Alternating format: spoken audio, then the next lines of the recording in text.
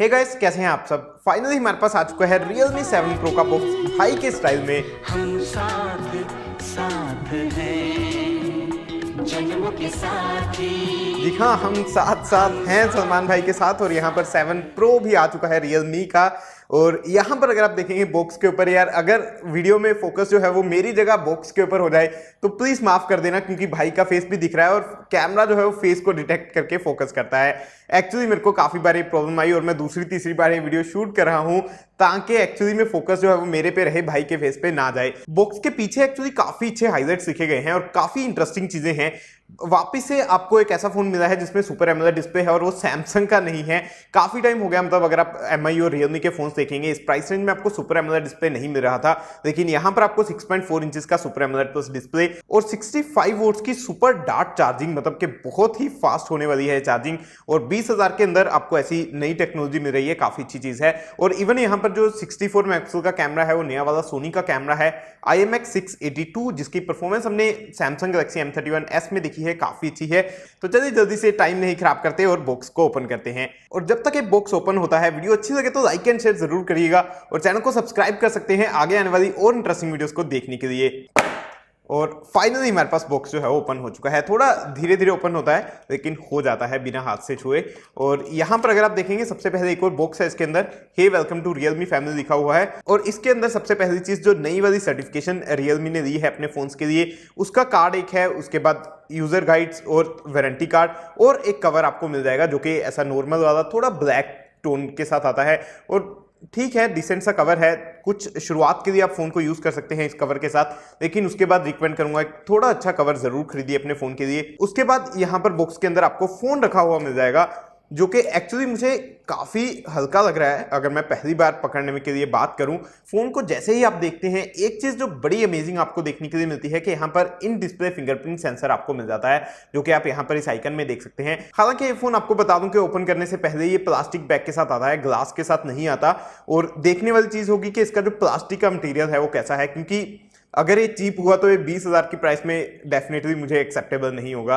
तो चलिए इसकी इनबॉक्सिंग करते हैं। इसके ऊपर भी यहाँ पर एक कुछ ऐसे गार्ड सा लगा हुआ है। मेरे को तो अच्छा नहीं लगता यार, वो काफ़ी मोटा सा गार्ड होता है और एक्चुअली में प्लास्टिक होता है, वो ग्लास नहीं होता तो उसको मैं उतार दूँगा। तो इसको यहाँ पर उतार के हमने साइड में कर दिया है और यहाँ पर अब आप देख सकते हैं फ़ोन जो कि दिखने में एक्चुअली में अच्छा दिख रहा है, काफ़ी सुंदर दिख रहा है, लेकिन ये बहुत ही ज़्यादा ब्लैक कलर है मतलब ब्लू कलर है, लेकिन बहुत ही ज़्यादा डार्क टोन में है। अगर आप इसको ऐसे थोड़ा अंधेरे में देखेंगे तो आप मतलब अच्छे से देख भी नहीं पाएँगे इसमें ब्लू कितना है मतलब बहुत ही कम ब्लू है, ज़्यादा ब्लैक है और प्लास्टिक है जैसे मैंने पहले बताया था, लेकिन थैंकफुली यहाँ पर चीप प्लास्टिक नहीं है। प्लास्टिक का जो टच है वो एक्चुअली में काफ़ी अच्छा फील हो रहा है। और मैं अगर आपको सच बताऊँ, जितने भी आज तक मैंने रियलमी के फ़ोन यूज़ किए हैं मतलब आठ हज़ार से लेके तीस हज़ार की प्राइस में जो भी फ़ोन आए हैं उन सब फोन्स में अगर मैं कंपेयर करूँ तो प्लास्टिक के मामले में बेस्ट मटेरियल मुझे लगा है जो अभी तक रियलमी ने यूज़ किया है। और डेफिनेटली ये चीप फील नहीं हो रहा। मतलब डेफिनेटली ग्लास से नीचे आ गया है रियलमी और काफ़ी सारे लोगों को पसंद भी नहीं आता यार ग्लास क्योंकि टूट जाता है जल्दी। तो काफ़ी सारे लोग चाहते हैं कि ऐसे मेटेलिक या फिर प्लास्टिक बिल्ड वाले फ़ोन ही उनको अच्छे मिल जाए। तो ये डेफिनेटली उनके लिए फ़ोन हो सकता है। हालाँकि फिंगरप्रिंट्स इसके ऊपर आते हैं और डेफिनेटली स्क्रैच ये हो जाएगा अगर आप इसको ज़्यादा रफ यूज़ करेंगे। चलिए एक बार फ़ोन को साइड में रखते हैं। बॉक्स कंटेंट्स जल्दी से दिखाता हूँ कि क्या क्या है। तो सबसे पहली चीज़, यहाँ पर सुपर डार्ट चार्जर, जो कि 65 वोल्ट्स वाला चार्जर है और काफ़ी तेज़ी से फ़ोन को चार्ज कर सकता है। एक छोटा सा टेस्ट इसी वीडियो में आपको दिखाऊँगा, लेकिन कंप्लीट टेस्ट हम किसी और वीडियो में करेंगे, चार्जिंग और डिस्चार्जिंग टेस्ट। उसके बाद यहाँ पर एक यूएसबी केबल है, जिसके अंदर थोड़ा ऑरेंज जैसा लुक आपको मिलता है मतलब ये जो रबड़ है इसके अंदर, वो ऑरेंज कलर की दी गई है। इसके बाद एक सिमट्रे इजेक्टर टूल है, जो कि बिल्कुल नीचे यहाँ पर दिया गया है। तो बुक्स को वापस से पैक करते हैं, रखते हैं साइड में और वापस से आ जाते हैं फ़ोन पर। और यार फ़ोन में सबसे इंपॉर्टेंट चीज़ जो मुझे पहली बार में देखने के लिए मिल रही है वो ये है कि फ़ोन काफ़ी लाइट वेट है और काफ़ी मतलब ऐसे प्रीमियम सा फील हो रहा है। स्टिल मतलब मुझे बिल्कुल भी एक्सपेक्टेड नहीं था कि प्लास्टिक भी इतना प्रीमियम फील हो सकता है। और एक्चुअली में जो फ़ोन है, चाहे वो प्लास्टिक है यार देखो, ये मत बोलना कि मैंने पैसे खा रखे हैं रियलमी से, ठीक है? मैंने खुद फ़ोन परचेज किया है, कोई मेरा ऐसे पैसे खाने वाला सीन नहीं है। सीधी बात यह है कि प्लास्टिक के साथ भी फ़ोन काफ़ी प्रीमियम फील हो रहा है। और दूसरी चीज़, ये फ़ोन काफ़ी ज़्यादा हल्का है यार। अब अगर आप यहाँ पर देखेंगे, मेरे पास वन प्लस है या फिर सैमसंग है। अगर आप मैं कंपेयर करता हूँ वन प्लस की तो इवन बैटरी से कम है यार। इस फ़ोन में आपको 4500 mAh की बैटरी मिलती है और वन प्लस में 4100 के करीब है। स्टिल उससे भी ये फ़ोन हल्का फील हो रहा है। तो एक चीज़ जो मुझे मिल रही है कि यहाँ पर वेट डिस्ट्रीब्यूशन जो है वो काफ़ी अच्छे से की गई है। तो जल्दी से फ़ोन को टर्न ऑन करते हैं। जब तक टर्न ऑन होता है, जल्दी से फ़िज़िकल ओवरव्यू दे देता हूँ। तो फ़ोन के ऊपर अगर आप देखेंगे तो सेकेंडरी नॉइस कैंसेशन माइक मिल जाएगा। लेफ़्ट साइड पर वॉल्यूम रोकर्स हैं और एक सिमट्रे है। सिमट्रे यहाँ पर डेडिकेटेड एसटी कार्ड सोट के साथ आती है। मतलब मेमोरी को एक्सपेंड आप कर सकते हैं। राइट साइड पर पावर की है, जिसके ऊपर येलो कलर की लाइन दी गई है। और डेफिनेटली फ़ोन को दिखने में तो सुंदर बना रही है, लेकिन अगर मैं टच करने की बात करूँ तो यहाँ पर कुछ ऐसे एक्स्ट्रा आपको फील नहीं हो रहा और राइट साइड में एक ही बटन है यार तो किससे मतलब डिफ्रेंशिएट करने के लिए नहीं है, लेकिन सिर्फ़ आपको सुंदर दिखाने के लिए है, जो कि डेफिनेटली सुंदर दिख रहा है। नीचे की तरफ़ यहाँ पर three point audio jack primary microphone type C port जिसकी मदद से आप 65 वोट फास्ट चार्जिंग कर पाएँगे, और एक लाउड स्पीकर मिलता है। और एक बड़ी चीज़ इस फ़ोन में ये है कि इस फ़ोन में जो फ्रंट ऊपर का लाउड स्पीकर है, वो भी ऐसे स्पीकर काम करता है। मतलब कि इस फ़ोन में डुअल स्टीरियो स्पीकर आपको देखने के लिए मिलते हैं।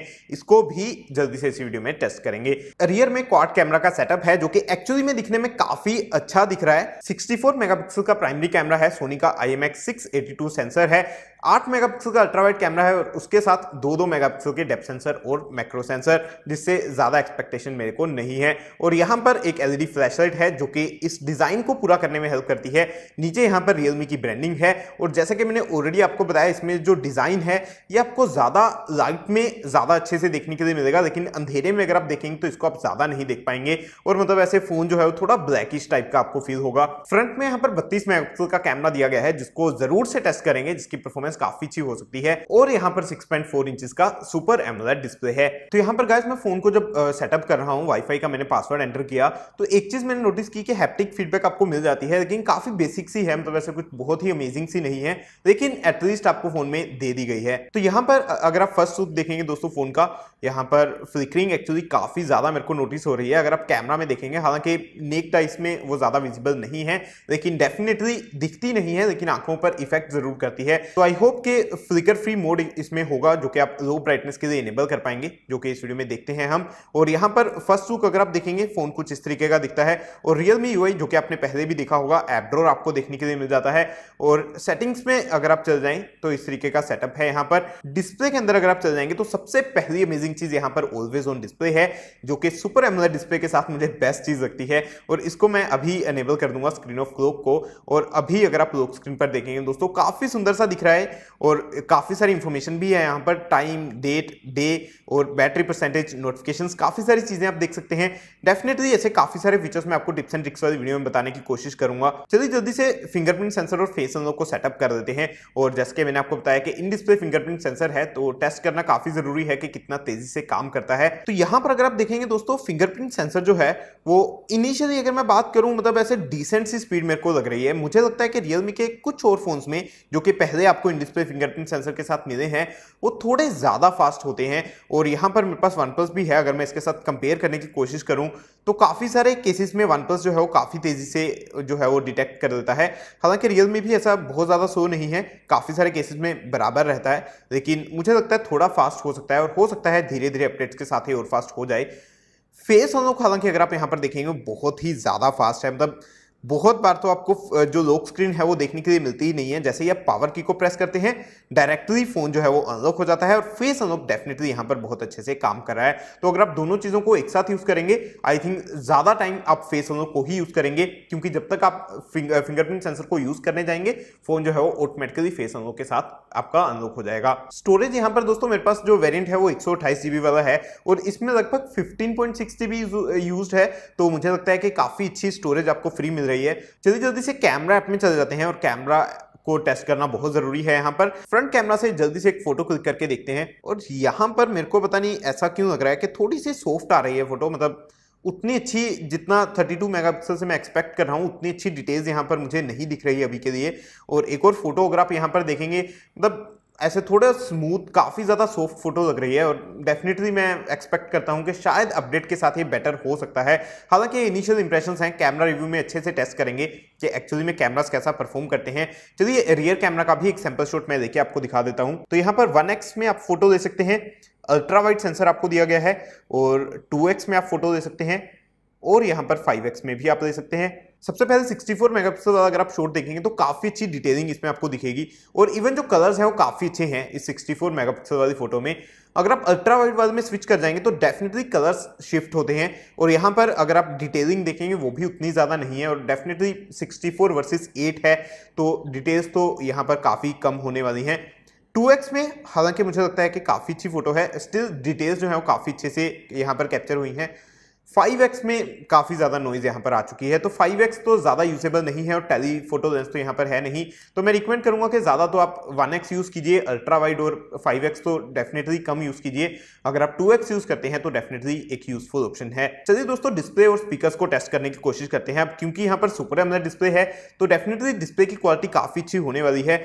और कोई अपनी ही वीडियो प्ले कर देते हैं। भाई साहब मैं आपको बता सकता हूँ मतलब जैसे ही मैंने वीडियो ऑन की है ना ये जो लोगो वाला म्यूज़िक है ना उसी को सुन के मैं बता सकता हूँ कि इसके जो डुअल स्टीरियो स्पीकर्स हैं वो काफ़ी अच्छे हैं। अगर आप नॉर्मल किसी फ़ोन से कंपेयर करते हैं जिसमें आपको एक स्पीकर मिलता है। पोको X3 लॉन्च हो चुका है इंडिया में बहुत ही अमेजिंग प्राइस पर और बताने वाला हूँ पूरी सॉरी मैंने इंडिया बोला क्या? ग्लोबली लॉन्च हुआ है, लेकिन इंडिया में भी जल्दी आएगा ऐसी न्यूज़ है और काफ़ी अच्छा स्मार्टफ़ोन है, काफ़ी अच्छी प्राइसिंग पर लॉन्च हुआ है। अगेन से बता दूँ ग्लोबली लॉन्च हुआ है। इंडिया में जल्दी ही लॉन्च होने वाला है, अगर आप बाहर से मंगवाना चाहते हैं। डेफिनेटली दोस्तों, मैं बोलूँगा कि स्पीकर्स का एक्सपीरियंस डेफिनेटली काफ़ी अच्छा है।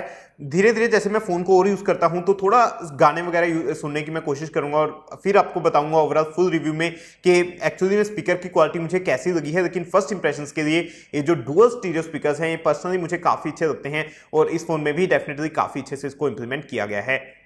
कलर्स का अगर आप ज़्यादा आइडिया लेना चाहते हैं तो एक ये वाली क्लिप भी आप देख सकते हैं। तो यहाँ पर जो ग्रीन कलर्स हैं, वो आपने देखा होगा कि काफ़ी सुंदर दिख रहे हैं और जो ब्लैक्स हैं, वो भी डेफिनेटली काफ़ी डार्क हैं और ओवरऑल कलर्स जो बैलेंस है, वो मुझे काफ़ी अच्छा दिखा। और इवन अगर आप यहाँ पर व्यूइंग एंगल्स देखेंगे दोस्तों काफ़ी हद तक जब तक आप मतलब फ़ोन को पूरा टिल्ट कर देते हैं कलर्स जो है वो बिल्कुल भी ख़राब नहीं होते। और यहाँ पर आप देख सकते हैं, पूरा मैंने फ़ोन को टिल्ट कर दिया है। स्टिल कलर एक्यूरेसी काफ़ी अच्छी मेंटेन हो रही है डिस्प्ले में। तो डिस्प्ले की क्वालिटी ओवरऑल काफ़ी अच्छी दिख रही है और इवन ब्राइटनेस यहाँ पर काफ़ी अच्छी है। जो रियलमी सिक्स और सिक्स प्रो में आपको प्रॉब्लम देखने के लिए मिली थी ब्राइटनेस की, वो इस फ़ोन में तो मुझे डेफिनेटली देखने के लिए नहीं मिल रही है। चलिए डार्क मोड भी जल्दी से टेस्ट कर देते हैं। एक सुपर एमलेट डिस्प्ले वाले फ़ोन में डार्क मोड भी इंटरेस्टिंग चीज़ होती है। क्योंकि डार्क मोड जो होता है, उसमें जो ब्लैक कलर होता है बैकग्राउंड में, वो काफ़ी ज़्यादा ब्लैक हो जाता है। और यहाँ पर अगर आप देखेंगे डेफिनेटली मैं बोलूँगा कि थोड़ा सा और बेहतर हो सकता था, लेकिन इसमें ऐसे मुझे कोई बहुत बड़ी प्रॉब्लम नहीं दिख रही। यहाँ पर रियलमी लैब के अंदर अगर आप जाते हैं दोस्तों, यहाँ पर कुछ एडिशनल फ़ंक्शंस आपको मिल जाते हैं जैसे कि स्मूथ स्क्रोलिंग आपको दिया गया है। हालाँकि 60 हर्ट्ज का डिस्प्ले है, लेकिन अगर आप इसको ऑन करेंगे तो सॉफ्टवेयर बेस पर हार्डवेयर बेस पर तो नहीं होगा, लेकिन सॉफ्टवेयर बेस पर थोड़ा बेहतर स्क्रोलिंग का एक्सपीरियंस आपको मिलेगा।